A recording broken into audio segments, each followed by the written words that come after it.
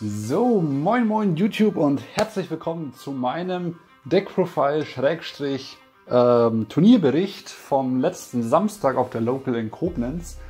Wie man vielleicht äh, hier schon erkennt, habe ich tatsächlich mit Zombies gespielt. Ich habe einfach, nachdem ich schon das letzte Turnier vor der Local mit Cyberdrachen gespielt habe, äh, mir gedacht, jo, spielst du halt mal mit was anderem. Ich wusste von vornherein, dass das hier kein Competitive Deck ist. Es ist kein Meta-Deck. Habe also keine hohen Erwartungen äh, an mich gesetzt mit dem Deck. Und trotz alledem habe ich den fünften Platz gemacht, wie ihr schon in dem Opening von den, von den Boostern mitbekommen habt. Und da war ich sehr erstaunt, wie viel das Deck doch eigentlich ausrichten kann. Und ich hätte es gesagt, wir gehen direkt mal ins Deck-Profile rein. Es ist ein Zombie-Deck, das hat jetzt durch das Zombie-Horde Structure-Deck natürlich einiges an Support äh, bekommen. Deswegen von vornherein spielt man hier auch dreimal den Untergangskönig Balledroch, so ähnlich Doom King Balledroch. Äh, das ist ohne zu untertreiben das beste Monster im Deck. Es kann dir einmal pro Kette einen Monster-Effekt in Kombination mit Zombie-Welt, da komme ich später noch drauf zu, durch, wodurch alle Monster Zombie werden auf Spielfeld und Friedhof.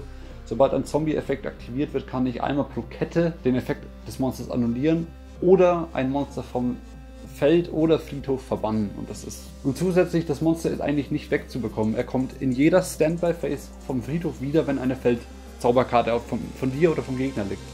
Und das ist stark mit dem 2-8er Beatstick. Also mit dem hat man ein leichtes Spiel.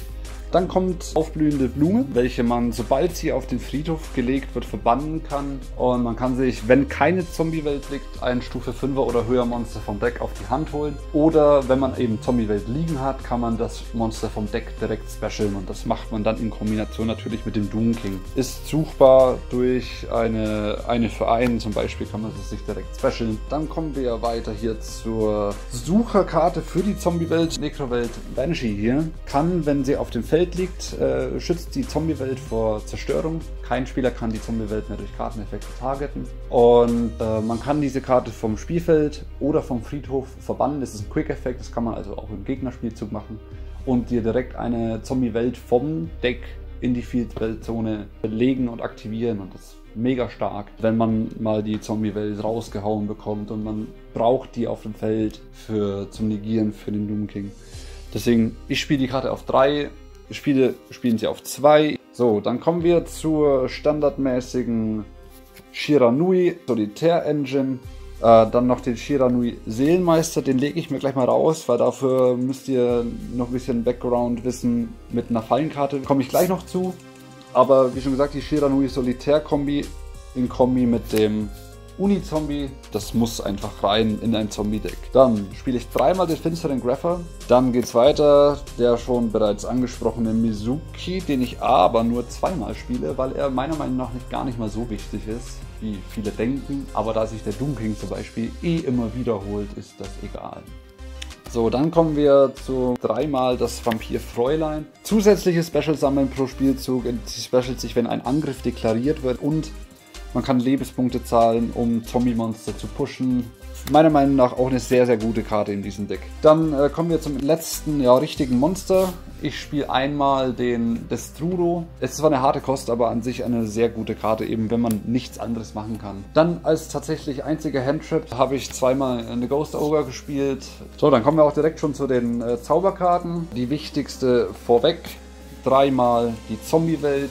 Dann kommen wir zu den Twin Twistern, um Monster abzuwerfen. Wenn man den Balledroch auf der Hand hat, wirft man ihn für den Twin Twister ab. Dann kommt einer für einen, habe ich schon angesprochen, die aufblühende Blüte zu Specialen vom Deck. Zum Schutz gegen Handtraps oder ähnlichem, ähm, Cold by the Grave sollte jeder kennen. Dann törichtes Begräbnis. Dann eine Verstärkung für die Armee, um sich den Grapher zu suchen. Wie vorhin schon angesprochen, dreimal. Kann man auch nur zweimal spielen den Shiranui-Stil Schwalbenhieb. Ähm, wenn man sie aktiviert, kann man ein Zombie-Monster tributieren und dann bis zu zwei Karten vom Gegner wählen und sie zerstören. Und das zusätzliche Kost muss man eben dann ein, ein Shiranui-Monster vom, vom Deck verbannen und dann nimmt man den Seelenmeister und wenn der Seelenmeister verbannt wird, kann man eine offene Karte vom Gegner zerstören. Das heißt, allein mit dieser Karte in Kombi mit der hat man ein drei Karten Zerstörung. Nicht nur bezogen auf Monster, nicht nur bezogen auf Zauberfallen, sondern eine beliebige Karte. Und das finde ich sehr, sehr gut. Hat mir auch zweimal den Arsch gerettet, ehrlich gesagt. So, dann kommen wir jetzt mal zum Extra-Deck, das ja relativ standardmäßig, sage ich mal, für ein Zombie-Extra-Deck aussieht. Wir haben hier zweimal die Vampirsaugerin. Macht in dem Fall der, der Doom King macht diese Karte erstmal richtig konstant. Ähm, wenn man wirklich mal nichts machen kann, man hat nur die aufblühende Blüte auf der Hand. Ein Link Kuribo ist nie falsch in so Decks mit, ein, mit Level 1. Ne? Also Link Kuribo ist immer noch einer der besten äh, Generic Link 1 für Stufe 1 Monster. Deswegen eine topologische Triss Bainer, dann äh, standardmäßig einen Albtraumritter Phoenix, ein Albtraumritter Einhorn, absolut generic für sämtliche Decks. Ist mittlerweile eine Staple in fast jedem Deck. Dann äh, eine Karte, die mir auch einmal das Duell, sage ich mal, gewonnen hat. Äh, einmal Saruja. Die Karte ist einfach geil, wenn man es hinbekommt. Und das ist ein Deck, mit der was hinbekommt. Und dazu lässt sich einfach nicht mehr sagen. Ne? Da ich leider nicht so wie Pascal mir das Geld für eine einzelne Karte 70 Euro, 80 Euro auszugeben, spiele ich die Budget-Variante von Ball Sword, also den Ball Load. Ja, why not? Ne? Dann den FA Tagesanbruchs Dragster. Kommen wir jetzt zu den sämtlichen Stufe 7 und 8. Die, oh gut, ich habe noch äh, eine Ausnahme hier noch, den Chambera. Gut, ist mittlerweile auch in Synchrodex eine Staple-Karte. Ist halt eine gute, äh, durch, eine gute Durchbruchskarte, einfach um Schaden zu drücken. Dann äh, das neue Synchro-Monster der rotäugige Zombie Nekrodrache, der für jeden Zombie auf dem Friedhof oder auf dem Feld 100 ATK drauf bekommt. Äh, dazu noch eine Shiranui Shogun-Sage. Dann haben wir den Omega. Ähm, dann einmal den Nablicht Erzunterweltler, der mir auch ein Duell gewonnen hat. Direkt im nächsten Duell habe ich das Duell durch diesen guten Dude hier gewonnen, durch den Beals. Der Gegner hat einfach nichts mehr gehabt, wo, womit er da drüber kommt. Dann komme ich jetzt mal zu meinem Bericht. Das erste Duell, das ich gespielt habe, war gegen Heroes. Das ist halt mittlerweile schon sehr gut geworden. Und ich hatte das Match 2-0 gewonnen. Äh, einfach so viel Glück, dass ich zweimal Cold by the Grave auf der Hand hatte und äh, mir damit dem Gegner einmal den Shadow Mist und einmal den Malicious vom Friedhof gebannt habe mir dann mein Nablicht rausgeholt habe und damit ein Bot geklärt habe und im zweiten Duell äh, habe ich den Beast gespielt und er hatte einfach nichts, was, was dagegen was machen konnte. Das zweite Match habe ich gegen äh, Dark Lords gespielt. Das war auch mal bewundernswert, fand ich, dass man das auch auf einem Turnier mal sieht. Der gute Marcel, Grüße gehen raus, äh, wenn du das siehst, hat das Deck auch das erste Mal gespielt auf einem Turnier und hat sich dafür sehr gut geschlagen. Meiner Meinung nach ist halt Dark Lords leider zu viel zu viel Minus äh, mit den Effekten, die sie übernehmen können, schön und gut, aber 1000 Lebenspunkte für jeden Effekt ist mir ein bisschen zu viel. Hab ihn halt auch dann zweimal mit meinem Bossmonster überrannt, die Monster vom Friedhof verbannt und Effekte annulliert und dann auch 2-0 gewonnen. Das dritte Duell ging mir ein bisschen auf die Nerven, habe ich äh, gegen Cardian Flowers gespielt. Das erste Duell hätte ich wahrscheinlich auch gewonnen, aber dem Effekt von, von dem Ballet doch leider nicht ganz gewusst habe. Sag ich mal, er hat sein Bossmonster von seinen Monstern raus und es hieß, das Monster kann nicht durch Karteneffekte gewählt werden.